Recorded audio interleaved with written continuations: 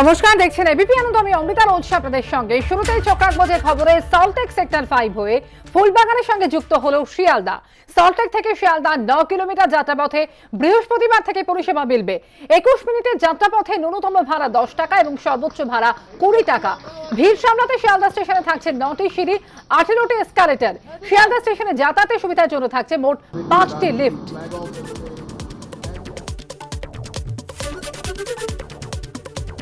আজ কিছুক্ষণ আগেই ভার্চুয়ালি উদ্বোধন করেন কেন্দ্রীয় মন্ত্রী স্মৃতি ইরানি হাওড়া ময়দান মেট্রো স্টেশন থেকে উদ্বোধন করেন শিয়ালদা মেট্রো পরিষেবার।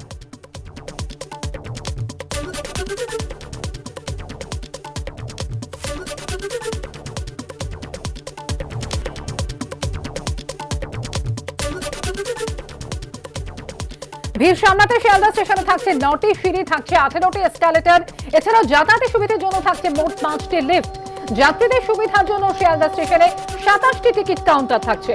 কলকাতায় প্রথম কোনো মেট্রো স্টেশনে থাকছে ডাবল ডিসচার্জ প্ল্যাটফর্ম শিয়ালদা স্টেশনের প্ল্যাটফর্মে দুপাশেই থাকবে যাত্রীদের ওঠানামার সুবিধা। সামনের বছর হাওড়ার সঙ্গে শিয়ালদা যুক্ত করা লক্ষ্য মেট্রো কর্তৃপক্ষের।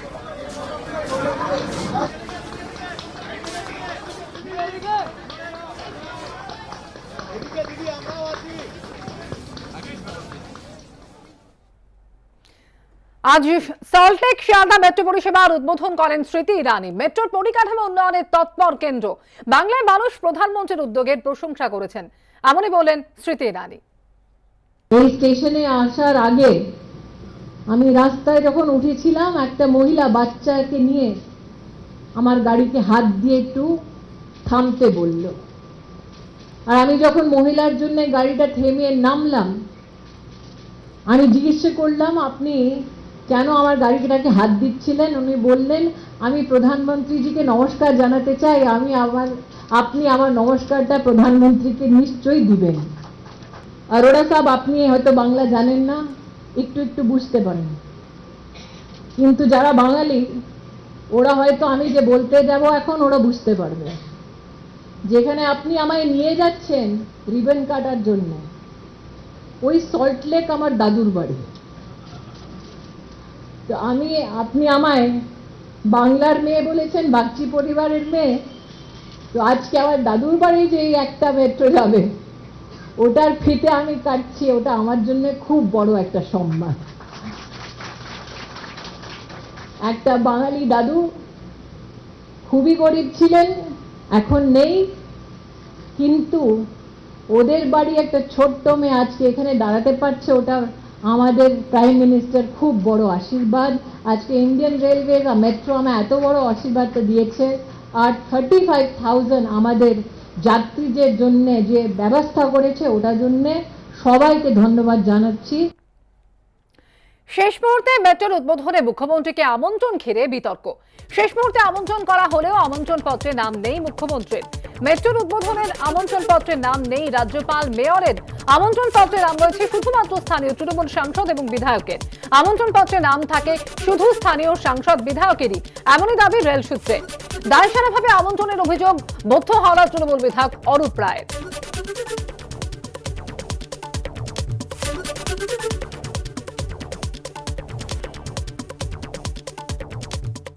আমাকেও কিছু সময় আগে আমন্ত্রণ জানানো হয়েছিল আমন্ত্রণ বিতর্কে মন্তব্য স্মৃতি ইরানির मैं इतना कहना चाहती हूँ भारत की केंद्रीय मंत्री होने के नाते आज इस मंच पर आपने सुना जीएम रेलवेज ने कहा सार्वजनिक कि मुझे भी अल्प समय में आमंत्रण दिया गया किसी के लिए भी ये गौरव की बात होगी कि जब वर्षों वर्ष तक लंबित एक इंफ्रास्ट्रक्चर का प्रोजेक्ट पूर्ण होता है एक छंद में तो उसमें हम सबको सहभागी होने का जब मौका मिले, उसमें हम सहभागी हों। इनविटेशन कार्ड पर टीएमसी के एमपी एमएलए का नाम था, मंच पर उनकी जगह रिक्त थी, वो क्यों नहीं आए, इसका जवाब वो बेहतर दे पाएँगे। मैं आज अपने दो मंत्रालयों का रिव्यू यहाँ पर करने जब बैठी तो प्रिंसिपल सेक्रेटरी ने कहा, उनके पास समय नहीं है, मंत्री उपलब्ध नहीं थे। जूनियर ऑफिसर्स के साथ मैंने बैठ के रिव्यू किया लेकिन मैंने कोई उसके बारे में प्रेस कॉन्फ्रेंस नहीं की थी দায়সারাভাবে আমন্ত্রণের অভিযোগ মধ্য হাওড়ার তৃণমূল বিধায়ক অরূপ রায় যিনি এই প্রজেক্টটা স্যাংশন করেছিলেন তৎকালীন রেলমন্ত্রী হিসেবে তাকে বাদ দিয়ে তাকে অসম্মান করে একটা প্রজেক্ট হচ্ছে আমি তো তার সহকর্মী আমার যাওয়ার কোনো প্রশ্নই ওঠে না যেখানে মুখ্যমন্ত্রীকে অসম্মান করবে সেখানে আমি যাই কি করে? আমি আমার যাওয়ার কোনো প্রশ্ন না। এটা এটা অসম্মান করা এবং মুখ্যমন্ত্রীকে অপমান করেছে রেল আমন্ত্রণ বিতর্কে আক্রমণ ফেরহাদ হাকিমের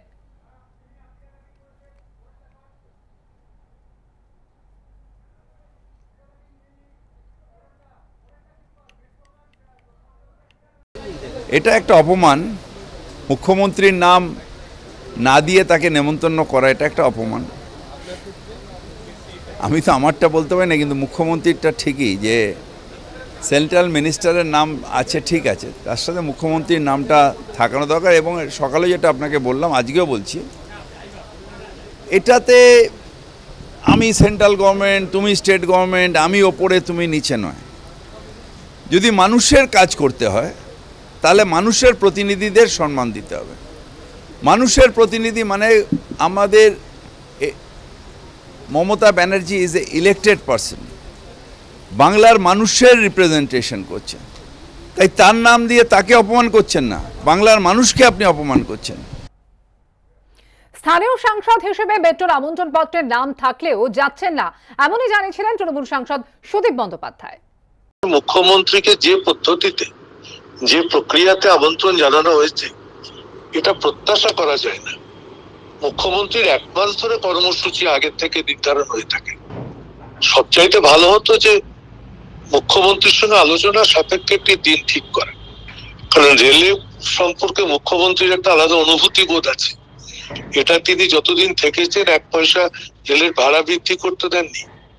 এই রেল তার জীবন ছিল তাকে নিয়ে তিনি যা করেছেন এবং বাংলার মানুষ সেটা উপলব্ধি করে তাই পদ্ধতিগত প্রক্রিয়াগত এবং অজ্ঞতাগত তাদের কারণে আজকের এই কর্মসূচি সম্পূর্ণ হতে পারল না।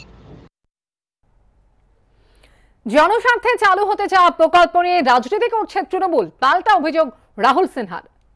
মেট্রো সেই কারণে যে ওখানকার সাংসদ এবং বিধায়কের নাম তো আছে। আর মুখ্যমন্ত্রী তো আগেই যখন টের পেয়েছে যেখানে উদ্বোধন হবে, তখনই সরে পড়েছে। এবং মুখ্যমন্ত্রী আজকে যেটা কামারকুণ্ডু রেল স্টেশনে উদ্বোধন করলেন, তখন কাদের ডেকেছিলেন? তখন রেলকেও তো ডাকেননি, রেলের প্রকল্প। অতএব সেই কারণে এই জাতীয় যারা অসহযোগিতা ইতিপূর্বে দেখিয়েছে, তারা এটাকে এখন একটা রাজনৈতিক ইস্যু করতে চাইছে। এখন জনস্বার্থে, জনসুবিধার্থে প্রকল্পকে নিয়ে তারা এখন রাজনীতির জন্য ষড়যন্ত্র শুরু করেছে। আমি রেল কর্তৃপক্ষের কাছে আবেদন জানাব যে খুব কঠোর নিরাপত্তার মধ্যে দিয়ে কার্যক্রম হোক, কারণ এই দলটা উগ্রপন্থীদের দল, অতএব শুধুমাত্র অবস্থানে এরা শান্ত নাও থাকতে পারে, যে কোনো মুহূর্তে কোনো অঘটনও ঘটানোর চেষ্টা করতে পারে। অতএব আমরা মনে করি নিরাপত্তা জোরদার করে, জনসুবিধার্থে, জনস্বার্থে যে কোনো বিষয়কে যে কার্যক্রম নেওয়া হয়েছে সেটাকে সম্পূর্ণ করা উচিত।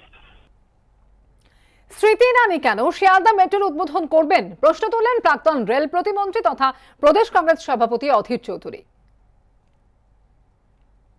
রেলের সম্পর্কে আমি যেটুকু জানি মানে আমি তো ধরুন আঠেরো মাস রেলের মন্ত্রী ছিলাম প্রতিমন্ত্রী।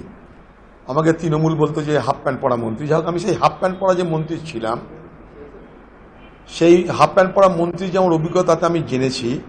যে রেলের প্রোটোকল অনুযায়ী একটা রাজ্যে যদি কোনো কোনো রেলের প্রকল্প উদ্বোধন করা হয়, তাহলে সাধারণত সেই প্রকল্পের যিনি মন্ত্রী, তার আসা দরকার নাম্বার ওয়ান আমি যখন রেলের মন্ত্রী ছিলাম, শেষ যেটা রেলের বাজেট হয়েছিল ইউপিএ সরকারের, শেষ সাপ্লিমেন্টারি বাজেট সেখানে একশো কোটি টাকা মেট্রোর জন্য আমি বরাদ্দ করার ব্যবস্থা করেছিলাম। এখন রেলের যে প্রোটোকল সে প্রোটোকল হচ্ছে যে কনসার্ন মন্ত্রী আসা দরকার, সেখানে স্মৃতি ইরানি, সে রেলমন্ত্রী না সে আরবান অ্যাফেয়ার্স মন্ত্রী আমার জানা নাই। সে হঠাৎ কেন চলে আসছে, তাকে কি কেউ অথরাইজ করে দিয়েছে, আমার জানা নাই। নিশ্চয়ই একটা মন্ত্রী ক্যাবিনেটকে রিপ্রেজেন্ট করতে পারে, আমি অস্বীকার করছি না। কিন্তু মানানসই হতো, যদি রেলের বা আরবানের তরফ থেকে আরবান অ্যাফেয়ার্স মিনিস্ট্রি তারা আসতো। শিয়ালদার জন্য স্থানীয় এমপিকে ডাকাটা মাস। তার মানে এটা যে মুখ্যমন্ত্রীকে ডাকতে হবে। এবারে শুনব এই বিতর্ক নিয়ে সিপিএম নেতা সুজন চক্রবর্তী ঠিক কি বলেছেন। শেষমেশ আজকে তার উদ্বোধন খুবই ভালো হতো খুবই ভালো হতো।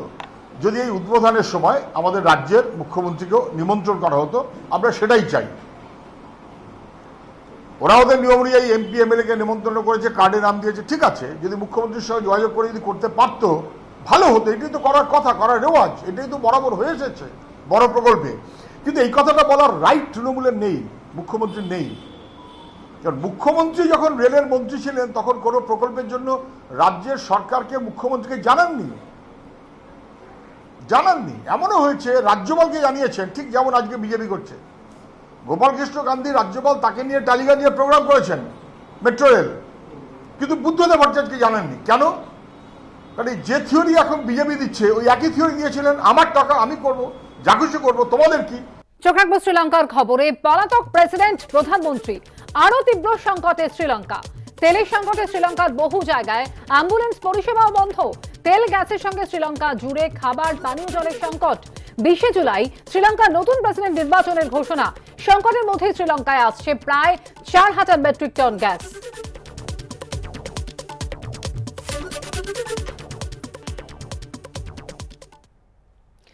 দুর্নীতিমুক্ত সরকার চাই শ্রীলঙ্কায়। প্রায় তিন হাজার কিলোমিটার দূরে থেকেও পরিবারের জন্য উদ্বেগে বাংলায় পড়তে আসা শ্রীলঙ্কার পড়ুয়ারা। অবিলম্বে খাবার, তেল, গ্যাস সংকট কেটে যাবে বলে আশা প্রকাশ। আমরা এখন রয়েছি কলকাতার কলেজ স্ট্রিটের মহাবোধি সোসাইটি অফ ইন্ডিয়ার প্রতিষ্ঠানে এখানে মহাসচিব আমাদের সঙ্গে রয়েছেন। তিরিশ বছর আগে শ্রীলঙ্কার কলম্বোর কাছ থেকে তিনি চলে আসেন কলকাতায় এবং এখন আপাতত এখানেই রয়েছেন। শ্রীলঙ্কাতে যারা রয়েছেন বাসিন্দারা তাদের সঙ্গে তিনি কথা বলছে অনবরত যোগাযোগ করার চেষ্টা করছেন। Can you please tell me about the all the situation The situation uh, at the moment is uh, the president has uh, announced his uh, resignation on Wednesday, 13th, and uh, it is most likely that the Speaker of Parliament will uh, be the acting president. That is, if the Prime Minister also resigns. If the Prime Minister does not resign, then he becomes the acting president for seven days. And then the Parliament will have to elect uh, a president for the rest of the term. যোগাযোগ করা মহাবোধি সোসাইটির সাধারণ সম্পাদক কি বলেছেন শুনবো अ, पहली बात है लोगों को भोजन नहीं है अ, दूसरा है जो एसेंशियल मेडिसिन्स नहीं है दवाइयाँ टूरिज्म सेक्टर है ये कोलैप्स्ड हो गया कम्प्लीटली तो फिर जो छोटी मोटी बाकी जो कंपनीज है ये भी बंद हो- होने वाला है लगभग ऑलमोस्ट क्योंकि पेट्रोल नहीं है, डीजल नहीं है तो इलेक्ट्रिसिटी नहीं है। तो इसलिए आने वाले कुछ दिनों में हमको लगता है और दयनीय स्थिति, और बुरा हाल होगा।